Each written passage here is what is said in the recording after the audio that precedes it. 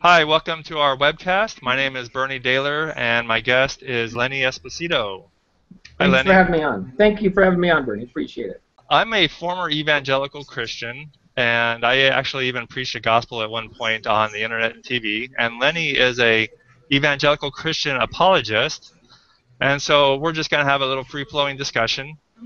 Um, Lenny, I guess we'll um, open up a little bit. You just uh, contributed to a book. Do you want to talk about that for a little bit?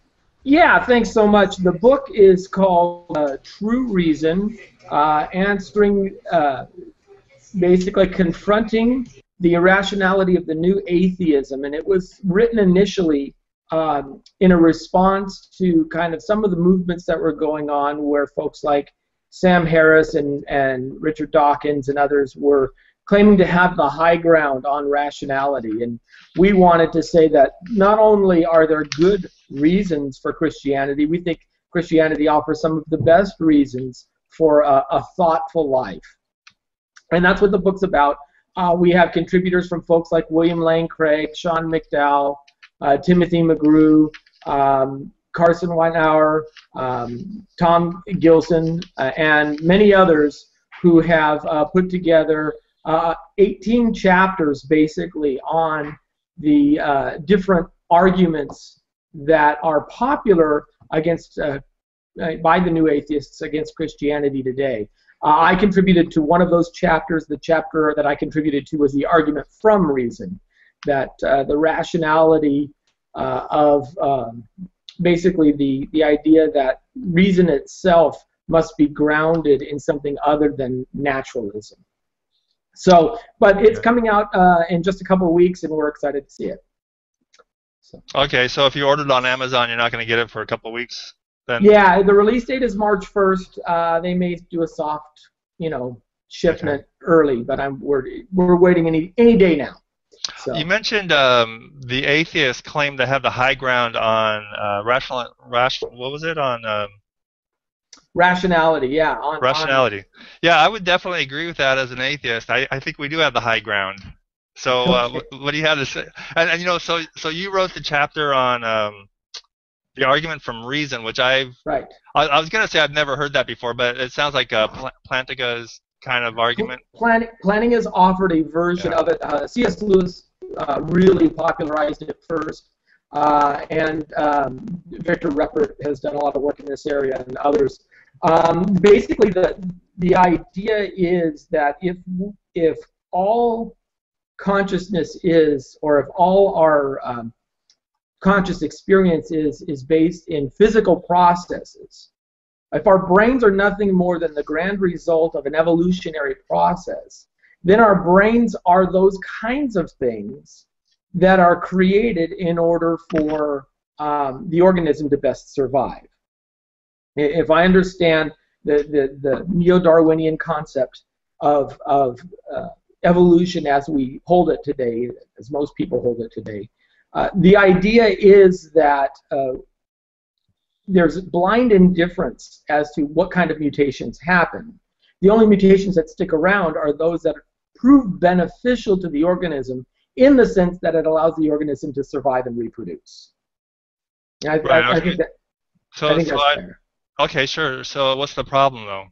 Well, the problem becomes in the fact that survival value doesn't care one whit whether its beliefs are true or not.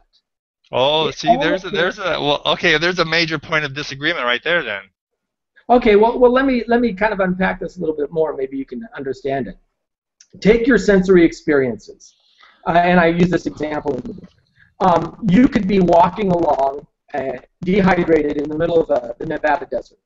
By the and way, you, your sound your sound is really breaking up. I don't know oh, if, if there's it, some kind me, of major static. Okay, let me see if I can get a little closer. That might help.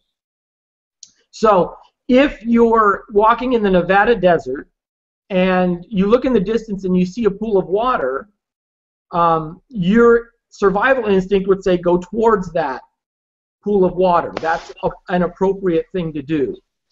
Uh, so that's what you would do. But when you get there, that same sense, your, your vision, would then say, hey, there's no water here. So you have the same source data, your senses, your eyes.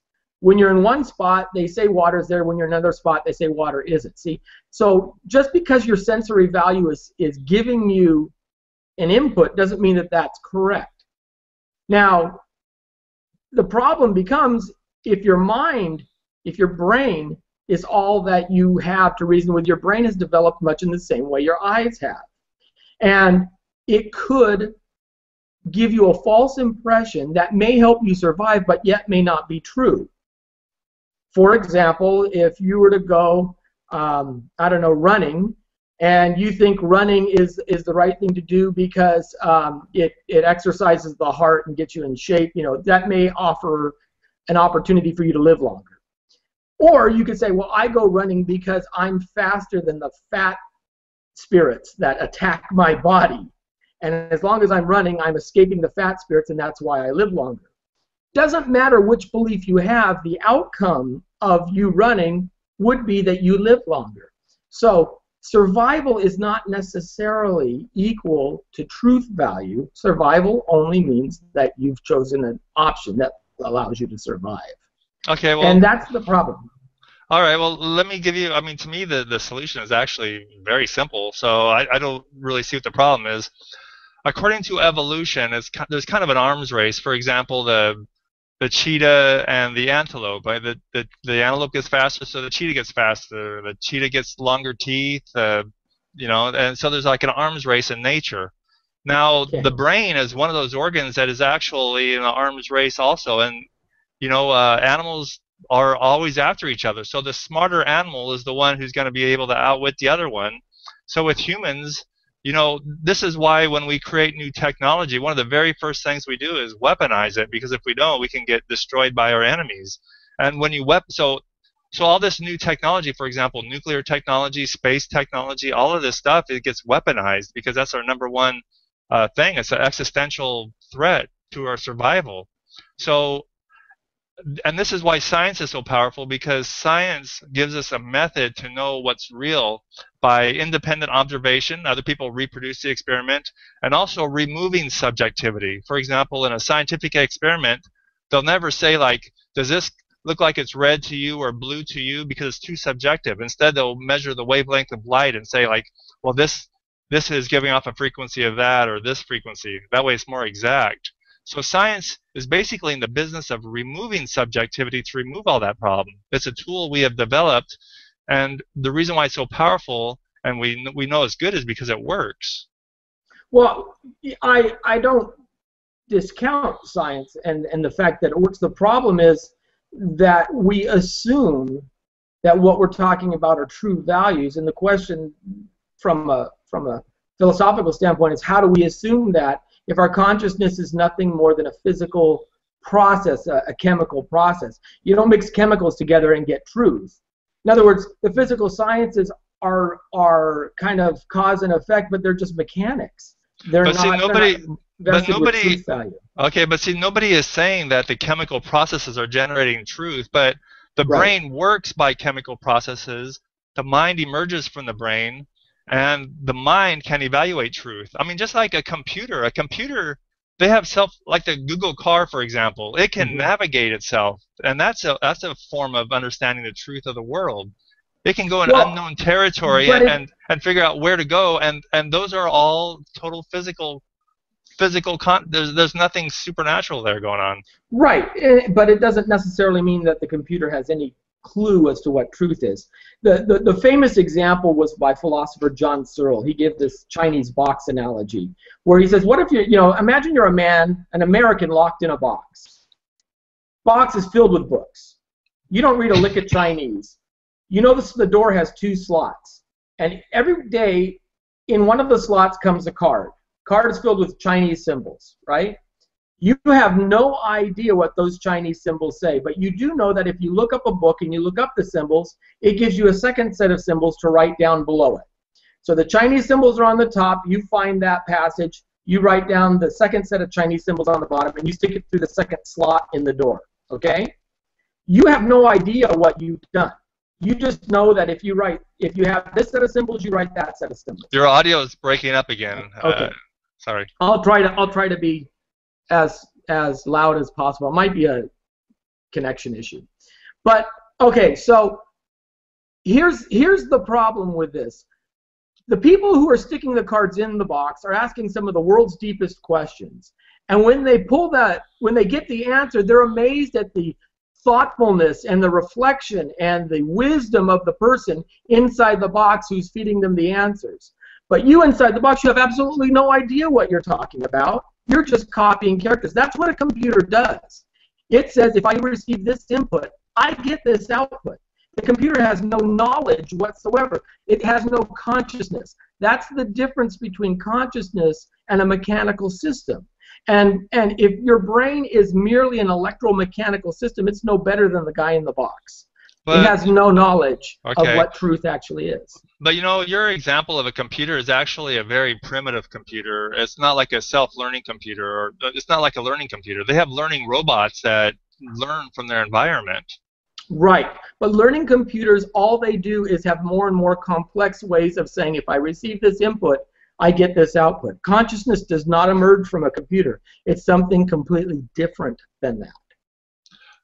Yeah, but yeah, right, sure. I mean, that's the way we are too. If you do this, if you do this input, you get this output, and then you put two and two together. For example, the Google car, I think, is a perfect example.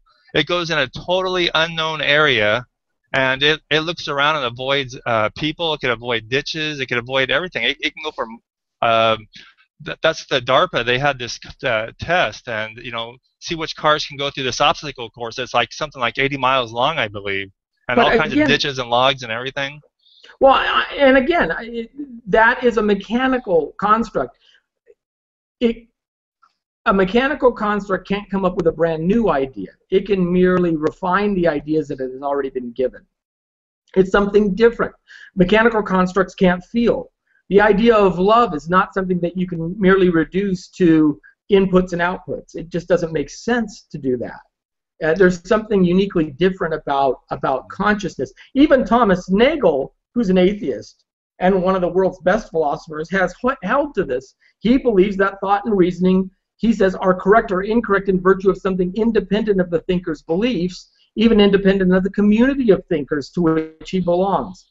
Uh, so he and he holds that the natural internal stance of human life assumes that there is a real world, but we can't know that with merely physical processes. Well, let me let me tell you, you know, from an atheistic standpoint, I look at nature and I can see all the different species. You know, there's mm-hmm. humans, and then there's a little bit lower consciousness in, let's say, for example, uh, chimps, and then there there's also different levels of consciousness. You know, for um, dogs and cats and fish, and then down to a slug, for example, and an ant and all that. So you can see the gradations of consciousness. Now, do you acknowledge that there's consciousness in a, for example, a dog and a dolphin and a, and a chimp? Yes, I would. I would acknowledge that they are conscious living eh, beings. Uh, I think their consciousness isn't a, a, a, gradation of human consciousness. I think we have attributes that are wholly unique to humanity from all of the other animals in the world. But there is oh. some level of consciousness there, absolutely. You know, here's one. Here's one of the bottom line. I think problems. Uh, we have two totally different foundations we're building upon. Uh, you know, from a scientific standpoint, one is is I'm firmly convinced that humans evolved from other animals, uh-huh. and I think you are probably largely reject that. Is that right? Yeah, I've not found any good reason to hold to the neo-Darwinian synthesis. I think there's four primary problems with it. One is the leap to life, the fact that abiogenesis is not explained. There's no good models for it. Uh, I don't see. I, I use the analogy of uh, Winston Churchill. There's an old story about Churchill who, you know, was they were told him, hey, the, the Germans are attacking in the English Channel with their U-boats, and we can't we can't catch them with our planes. And uh, Churchill says, well, the solution is easy. You just boil the seas, and all the U-boats have to surface. And they said, how are we going to boil the seas? And Churchill replied, well, I'm just I'm the idea man. The rest is an engineering detail you know, and as an engineer, you'd probably appreciate that. But um, well, well, well, the bottom line, but you know, I, I don't need you to go over all the different alternatives, but I mean, essentially, there's either creationism. I mean, either you were created by a miracle by God from scratch, or there's you, you came from other animals from descent, right? Those are the only two possibilities. Well, yeah, I mean, there are, there are there are other possibilities that other people offer. There's you know theistic evolution and things like that. I think. But that, that's still but but theistic evolution is still human descent it's from other human, animals. It's human descent, but and, well, and then there's of that. But some people believe in progressive creationism, things like that. which is still So- which is still a creation by a miracle at one instant though. Yeah, I wouldn't say miracle. It's a it's a creative act on the part of God. That's not necessarily suspending natural law. That's injecting something new into the into the scene. So Well, uh, well, for example, uh, the old Earth creationists. We we know Yeah. uh, you know reasons to believe in Fazale Rana and stuff. I mean, Right. So th- that's what you're talking about progressive res- um, progressive creationism, Creation. where basically at some point uh, God said, "Okay, I'm going to make humans now," and He Yeah. did it from scratch. Yeah. Well, yeah. I mean, however he Not- did it, he did it. Yeah. Right, but but it it wasn't uh, uh, a, a human coming from the birth of any other animal. Yeah, I, I, I don't. It's not necessary to for for me. I mean, that's a side point, but it's it's not necessary to to posit that a human was birthed from another animal, or that I, I don't believe that there was a natural process that spawned humanity. Like I said, I believe that humanity was was specifically a unique creation of God. I I, I do hold to that. So um, that, But you know, well, you know, Lenny. One thing I've said, I just get your reaction on this. You know, this this could be kind of inflammatory, but I, I believe that you know, as an apologist, you're you're not even in the game until you could accept evolution. This, this is people like um, Dinesh D'Souza and William Lane Craig. They won't argue evolution because of the evidence for it, and so you know, until you until you get there, you're not even uh, up to modern science standards. No, that's not true. That's that's neither that's neither true nor factual. It's yes, Craig won't argue evolution, but he doesn't argue. As a matter of fact, he had a debate against Francisco Ayala on the concept of human evolution. Uh, I think he holds to something clo- akin to Stephen Meyer when I've talked with him, and, and Meyer has written two great books, um, Signature in the Cell, and then la- lastly Darwin's Doubt, talking about the Cambrian explosion. Uh, but evolution has, as a theory, really only works at the 30,000 foot level. In in the details, it really has. There is no model. There is no model to say how do you go from what kind of genome changes happened in order to make the whale go from a land-bearing creature to a sea-bearing creature. Where did the genome actually change? How did that happen in the span of time that we know that the genome changed, given uh, that whatever it is, the five to seven million years the fossil record shows for that. Richard Sternberg has done a lot of work in that area. How do we get from scales to feathers if dinosaurs are supposed to be the progenitors of birds? You know, how did the genome actually change? There's no models for that. Those don't exist. It's- Okay, there's a well- missing mechanism there. Well, let me let me give the. I mean, there's there's a real simple answer here. Um, evolution is both a science, uh, is both a fact and a theory. The fact is that it happened, that humans evolved from other creatures, and all species came from other species. The theory is in how it happened. For example, Darwin didn't know anything about DNA, and he actually thought that everything came from descent, whereas now we know there's other mechanisms such as horizontal gene transfer, which has nothing to do at all with descent. So there's a lot of factors that are still being discovered, and, and this is how it happened. But the fact that it happened, um, let me say this too: the fact that it happened could easily be seen in the DNA. There's a field called genomics where you look at the different species, and you, for example, the whale and um, other land animals, you look at the DNA sequence and you can see uh, how they're related. And so it's, it's so obviously they're related, or else God is, if God really did create these individually, then He's trying to make it look like they're related. So He'd be a deceiver God, which not would not be. necessarily. I mean, two different builders can build two different buildings using the same kind of uh, main blueprint. I mean, builders don't change the way. You know, I don't care who the house builder was who built your house. I don't know, but I bet you he laid his stud 16 inches on center, just like my house builder laid my house. I mean, the, the fact that you find a good design and you use it over and over again neither proves deceit nor does it prove uh, common descent. It merely Yeah, proves that it's a good design and we keep using it. Okay, but the but the issue isn't the design is similar. The issue is basically seeing the footsteps of descent. For example, pseudogenes. Um, and I, I think I mentioned before. There's a, a scientist named Dennis Venema. He's an evangelical Christian, and he has a long YouTube series on this, going over all the DNA evidence.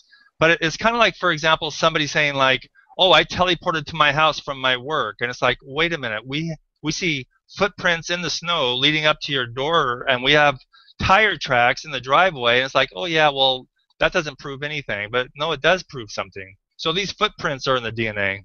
But the but again, I, I think there's a lot more that we don't know than we do. We're finding out just recently that things like junk DNA aren't junk at all. Um, the, those pseudogenes, I think, uh, can be carried by common viruses. I mean, there's there's all kinds of things that we just don't know yet. And and yeah, genomics is not my field, so I don't want to speak too too deeply into it. Mm. But I will say that without a model to say that it's a fact, that's a huge stretch. I mean, that was the same uh, response that was given in the 1920s and 30s about the, the universe being an eternal universe, a steady state theory universe. I mean, it was just fact by most of the scientists of that day. And it just didn't make sense, though, because when you find out that the stars are actually, you know, expanding away from one another, so that the idea of the universe lasting in an eternal state um, just doesn't pan out.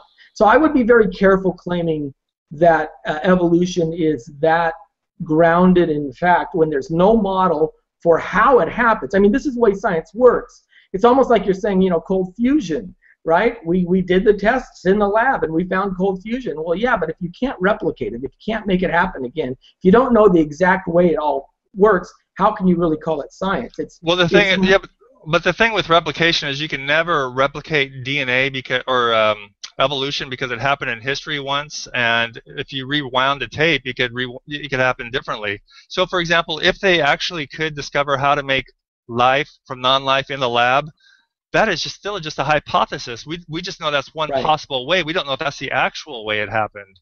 So even right, then, you can say like it's just an idea. Well, and they haven't again they haven't been able to even come close. They it's not even it's not even in the ballpark yet. They're not even at the starting line on that one. Richard Lenski is doing a lot of great work with E. coli bacteria, uh, tracing their evolutionary development because E. coli is one of the bacteria that that reproduce the fastest. So he has, and what he's finding is that it takes about 30,000 generations before you get any appreciable change. Well, if you map 30,000 generations out on a larger mammal species, a dog or a human, you run out of time even with a four point you know whatever four billion year old earth.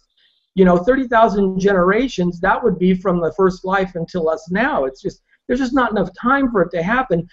Looking at how fast uh, genomic or uh, genes um, will mutate and and create those new random generations well, those are those are just things we're still trying to figure out in science. I mean, for example, I can tell you as an but engineer. But that's not fair. You can't well, you can't no, wipe away the problems me, and only focus on. no, let me give you an example. As an engineer, uh, you can have a problem with a laptop that has an intermittent memory problem.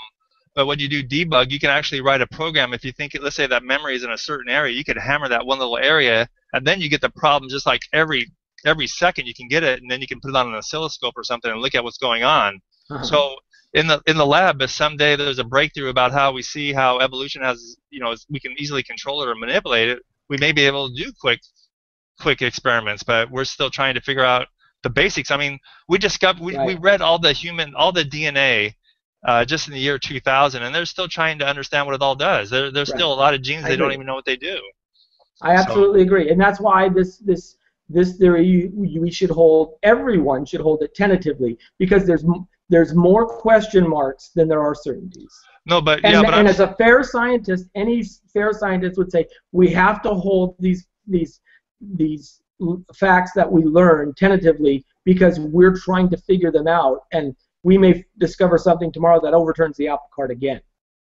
Well, definitely, all science is tentative, but the point is, what I, I, I still believe that the DNA record in, in the field of genomics shows how everything is related through footsteps of descent.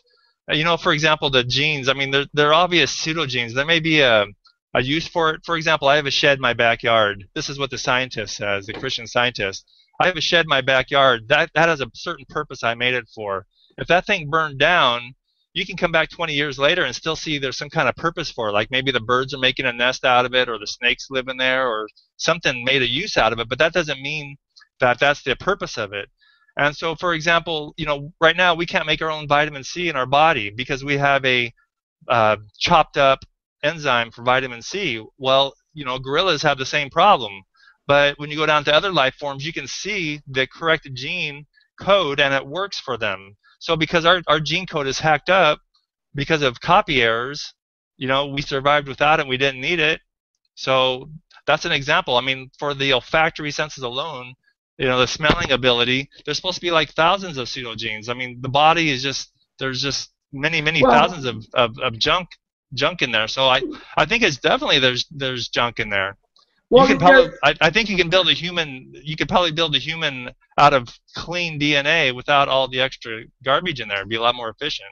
Well, I, and and we don't, like I said, we're finding out that that that junk DNA is actually performing purposes. It's you know the the idea of of how the um, how the protein folds happen and things like that. There's a lot of secondary structures, and uh, again, it's not my field of expertise, but there's a lot of data that's just finding out that this junk DNA isn't as much junk as you thought after all. But what we do see is most of the mutations that you talk about, even within genetics, don't lead to a new feature.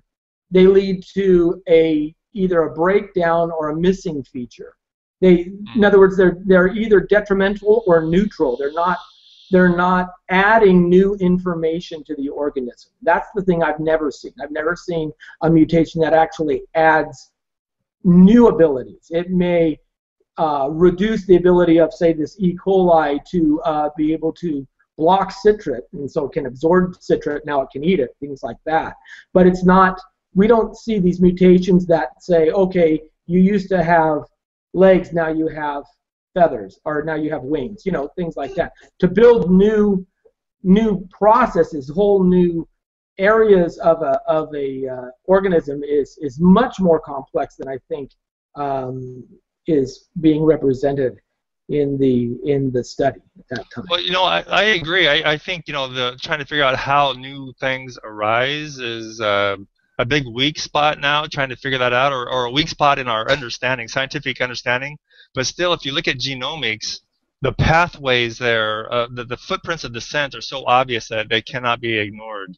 So, um, you know, I'll, I'll put a link in the video here to Dennis Venema, who's a Christian evangelical in science, and uh, he has a tutorial on this on YouTube, and it's for the layman, and it, it just goes from A to Z on all the evidence for DNA, just for people who want to see that.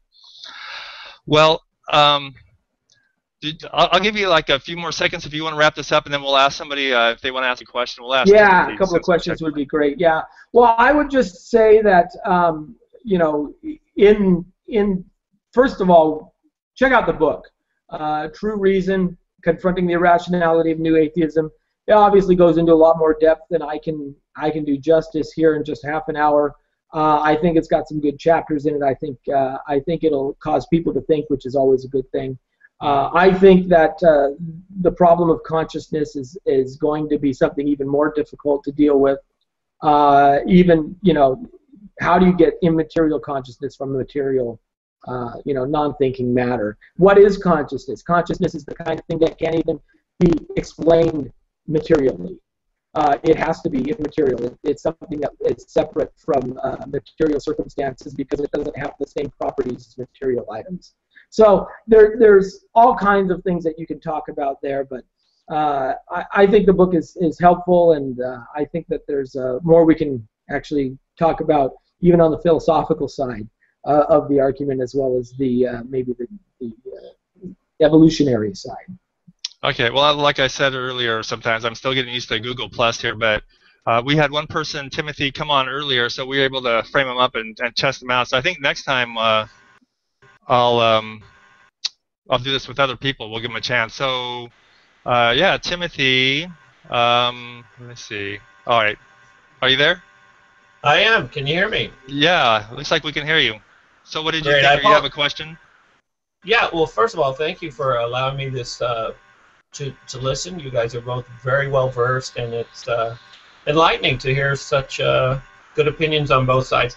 Hey, I was perusing the Reader's Digest this month, and uh, physicist Alan Lightman had stated this, and I just wanted to try and wrap with this. Science can never prove or disprove the existence of God. If God does exist, he surely exists outside of rational thought and outside the physical universe. And I just had to deal with the, the rational thought aspect. Where do we draw the line on what rational thought is? You know, if Koko the chimpanzee can mimic sign language and you know say, "Hey, I want that banana" by using this sign, is he thinking Right. rationally? I guess I guess that's my question to both you gentlemen, and thank you very much. Okay, thanks. Um, yeah, I'll mute your sound here now. Yeah. Um, well, two things. One thing is, uh, I just, I, I, I actually, uh, this is a project I need to work on, so I'm glad you bring this up. Um, I, I do believe that you can disprove the existence of God. Lenny, let me ask you: Do you think it's possible to disprove the existence of Zeus and Thor? I, I think yes, you can offer arguments that show that those uh, beliefs are more unlikely than likely. Absolutely. I, probably. I mean, can you definitely disprove anything? Well, you know, you, it's an argument from inference, so it's not a deductive argument in that in that case. But I think Zeus and Thor, are, it's a pretty good argument to show that they don't exist. Yes, I So- think so- you would be rational in holding that they don't exist. So, what would you say if somebody said to you, "You know what? I believe in Zeus, and you cannot Uh-huh. disprove me." There's I no way say- to disprove it. I, I would say, um, well, first I'd have to ask him to define Zeus. The, the problem with Zeus is he doesn't answer any questions for us. Um, you know, you can, and, and sometimes people can equivocate what they mean by Zeus. So they say, you know, I've been to Mount Olympus. There's no gods there. Well, we're talking about a spiritual Mount Olympus, and this, that. Well, that's not what Zeus actually was supposed to. Un- we were supposed to understand and throw the lightning bolts down and things like that. So if if there are specific, definitive characteristics of Zeus, then we can go on our way and, and show why those characteristics are false, they're flawed. Uh, the God of Abraham, Isaac, and Jacob, however, his characteristics are such that are necessary conditions in order for the universe to exist. Right, and and also, I mean, yeah, it's it's the same thing. Um, I mean, I mean, can can if somebody said to me, you know, you can't disprove the idea of Zeus, I would say, come on, let's let's talk about this. Sure, we can. I mean, we can disprove the existence of Santa Claus too, and the Easter Yeah. Bunny. Some people are saying you can't disprove anything. You can't disprove the Easter Bunny. You can't disprove Santa Claus, and No, I don't. I I, don't believe that's true. I don't believe it's true that you can't disprove anything. That, in other words, you prove a negative is what you're saying. And sometimes the claim is you can't prove a negative. Uh, that this Right, right. doesn't exist. I don't think that's true. Yeah, I mean, uh, well, well, actually, yeah, I, I think you could also prove, uh, uh, uh, disprove a, a negative. I mean, I could say, I don't have a, well, I, I could say I, I, I don't have a one million pound elephant in my room right here, Mhm. or in my pocket. Yeah. You know. Right, because those are contradictory ideas. Yeah. Well, and and it's also because it's logically there's no way it would work. Logically, there's no way you can put a thousand pounds of something in uh, of an elephant into your pocket. So you know, it's the same thing with God. If it, we're going to talk logically, you know. So anyway, what was the second But- part of the question? Do you remember? Oh, sorry. Well, I, I, and Tim was asking about uh, the idea of, of the rationality of God, but but God actually answers uh, problems. He actually solves problems in terms of rationality, like the infinite regress issue. You know, there has to be a start to everything. Something can't come from nothing, uh, and uh, so we need we need uh, an uncreated creator in order for that to happen. Um, so you know, the idea that things that begin to exist have causes the idea that the universe But, but let's is let's finally but let's just talk about one of those. I mean, uh, something from nothing. It, why isn't it special pleading to say everything has to come from something except for God? You know, it's a special case. You know, for God. because he's because uh, again only we're not making a special case we're defining our terms very clearly only things that have beginnings have to have an origin for their beginning similarly only uh, things that have two lines coming in at, an, at uh, something other than parallel will have angles if I said, you know, go to the corner of a circle, that doesn't make any sense because circles, No. by definition, don't have corners. right. Well, I Only I, things that have beginnings have uh, a creator. I, God I doesn't have a beginning. So. Okay, I understand that, but why do you think something could exist without a beginning? Why not? Something has to exist without a beginning. Otherwise, we'd have nothing at all. That's the whole point. Nothing That's out of that's- nothing, nothing comes. It's it just, I mean, it, it- because we have us, because we have the universe, there had to be something that created it. It's No, just no, other, okay, otherwise why, we're why falling into an infinite regress. why why can't the universe why can't the universe like the multiverse theory why can't why can't matter be eternal? Why can't matter always come from why can't this universe be birthed from something else just all the way back to infinity?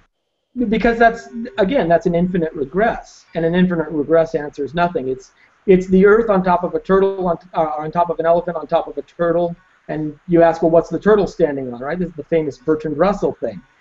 And But you know, well what's the turtle standing on? but that's another what you're s- turtle another turtle. All you're saying is of- but isn't that what you're saying for god? It's the same thing. You No. go back i mean what, what No, was God is- before he did this he was doing something else he was he, Well, he wasn't doing it all because time itself didn't even exist at that point. He's that's why God is is is defined as a simple being. He's okay but he's how could how could how could God ever come to say, you know what? I have an idea. I'm going to make the the the I'm going to make the whole universe. In fact, I'm going to make time. How could it, Yeah. how could there be a time when He makes time if, if time didn't exist?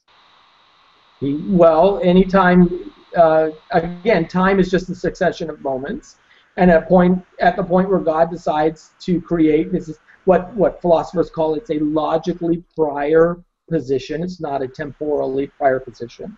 God chooses to create, and then that happens. Just because we can't understand it completely uh, doesn't mean it's not logically fallacious, nor is it uh, circumspect in that regard. It just it just argues that again, we know that we live in time. We know that time is relative. We know those two things are true. Uh, so the fact that God can express Himself and cause time in, eh, to come into being isn't a big deal. Matter of fact, time coming into being is held on both sides of the uh, the fence. The the naturalist holds that time came into being at the Big Bang just as much as the Christian holds that the Not time came into being as well. Not necessarily. Not necessarily. No, no. At the Big Bang, I think uh, you're talking about. There's debate whether there's a singularity there or what. I mean, you know, the multiverse theory. Uh, Okay, but the nobody multiverse knows, theory. basically, nobody knows yet. Well, but but slow down because without because time is linked to mass and energy. That's what Einstein showed. So your your your mass and your acceleration have effect on your time. This is this is why as you approach the speed of light, time slows down. I mean, this is this is common physics at this point. Um, time is linked to matter and energy. If you are creating a universe, if the Big Bang, if the singularity is that thing that puts out all matter, energy, and space, then time has to come with it. But people don't even know if there is a singularity or not. Like uh, Hawking, I think he said there was a singularity, and then I, I think in his last book he reversed himself and said there's not a singularity there. So does he? I don't believe he's holding to the steady state model. He doesn't believe that the universe has been here forever. No, there could be a multiverse idea. But a The, the Big Bang came from somewhere else. But okay, so what ran that engine? Where did the engine No- that starts producing the multiverses nobody- come from? Yeah, see, nobody knows. This is you science. see, we try this to figure this out. But no, my point is it's an infinite regress. It's like it's like me saying, who's the guy that's stacking all the turtles on top of each other? Mm. You Well, know, me- if you're if you're saying that the universe created other universes, created other universes, you got to say, well, where did that one come from? It still Right. doesn't answer the question. Here's the bottom line, though. The bottom line is everything. Essentially, there's really two choices. Everything came from something existing eternally, or everything um, came from nothing. Okay, and Right. so those are the two ultimate choices. And the point is, neither one of those makes sense to us because in our experience, we don't know of any cases whatsoever of anything eternally existing, such as God, and we don't also know of anything coming from nothing. So both cases to us don't make sense. Well, no, I wouldn't say that. I think I think that it's natural in all of humanity that they know that there is some kind of a creator out there. I mean, this is Oh. this is through all of human history that we've held to that. So to say that that's not known, I don't think is. I, I mean, I think that's begging the question. I think that that we're born with that. We're, we're Oh. No, we assume now you're, oh, That's just the reason. Why do people believe in God? I mean, that's a whole different topic. Why did why did why did humans come to make up God? I mean, that's that's a different argument. That's a whole different. There, there's evolutionary answers for that. It's a whole different topic. Well, yeah, there is. It is a whole different topic that we have to talk about. But I, but I don't think that it's as, as cut and dry. Again, I don't think they're both on the same plane as you're making it out, as you're kind of. No, I'm, I'm I'm just saying from human experience, ultimately there's two choices. Everything we know came from nothing. Something came from nothing, or else something came from something eternal. And we, in our experience, we don't know of anything that's eternal, and we also don't know of anything that came from nothing. So are you saying that? Well, I, I would tell you that people have experienced God directly. Uh, I, I think people do have. I know. That I, I, I was there too. I was one of those guys who thought I had a relationship with Jesus and all that. Well, but just because you felt that and then you later felt that you were wrong doesn't mean that those other people who have that experience are not necess- are not right. Okay. I know, I know, I know. I'm not saying I'm not saying they're all wrong because I I have the right ideas. I mean, Right. of course I think I'm right and they're wrong, but I'm not saying they're wrong because of that. No, no. But it, the the point is that I mean, if we can experience, and we have the you know we have the evidence of the resurrection, so we, we even have bigger evidence that uh, God does uh, you know enter into our world and work with us in those regards. So we've even got that aspect of of uh, evidence that we can claim for ourselves. Okay, so um, I guess we're done for now. So I'll give you uh, 30 seconds. I'll give you the last word. I, uh, you can summarize uh, for 30 seconds, and then we'll close. Well, I, again, I want to, you know, and to address Tim's question, uh, how do we understand what's reasonable, what's real, what's true? Um, I think uh, we've been thinking about these questions for thousands of years, and uh, at the forefront of reason really has been uh, Christian philosophers, Augustine, Aquinas, Anselm, uh, Pascal, all these great uh, thinkers who have given us strong reason to know that God is true. And uh, if you look at the arguments and really get into the nitty gritty, I think you'll find that uh, the true reason is that person who holds to God who created us. Okay. All right. Uh, well, it's been uh, kind of fun talking to you, getting to know Yeah. you a little better. Uh, one reason why I do this is because uh, you know a lot of atheists and Christians they they kind of stay in their own corners for a while and they don't Right. talk, and you can call each other idiots and all that. And uh, so I think it's good just to uh, to make some dialogue because you know they say you're not supposed to talk about religion and politics, right? So we, we can break those right. rules here. We'll at least break half of them. That's right. Yeah. okay, I appreciate it. Thanks so much for the time. All right. We'll talk to you later. Thank you soon. Bye.